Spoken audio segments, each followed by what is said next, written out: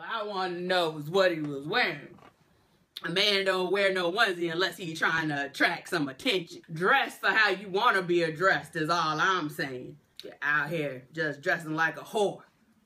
Bring me my plate, boy! As soon as I drop him off at school, I'm gonna come over there and hook up your hair. Don't even. Uh uh. Hold, hold on one second, girl. What, Reggie, where you think you going? Where you think you going in that little onesie? Now, I told you before, it's supposed to be as long as your fingertips when your hands down at your side. Now, go in there and change into some decent clothes. Girl, yeah, he trying to wear his onesie from last summer. Mm-hmm. He gonna just distract all the little girls at school. They not gonna be able to learn. Yeah, girl, Phaedra crazy. I don't even know why she tried to keep. Oh, you see the moose knuckle on that one right there, yo? Hey, yo, boo onesie. Damn, baby, you got some big old nuts. Yo, if you ain't want nobody to look, you shouldn't have worn no tight ass onesie. Slut.